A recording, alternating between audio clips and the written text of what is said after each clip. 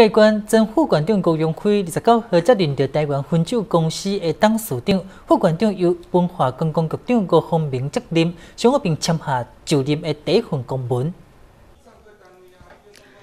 在前副馆长高荣辉接任台湾汾酒公司董事长了后，副馆长一直由文化观光局长高鸿明升任。对此，真侪官府员工拢持正面看法。有官府员工指出，高鸿明是一位真有风骨的政务官，升任副馆长了后，一定会当破演东条为真勇的政言角色，对中华关官府团队拢有加分的作用。我想承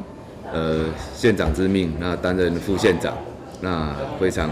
感谢，就是县府团队的这个支持。未来希望大家能够群策群力，共同努力，完成嘉义新时代的这些使命，然后来把工业区的开发，还有农业的相关的园区和文化观光的相关的设施，能够进一步的来做整合，然后产业之间的整合，来带动嘉义县的发展，那来相助县长来完成县政。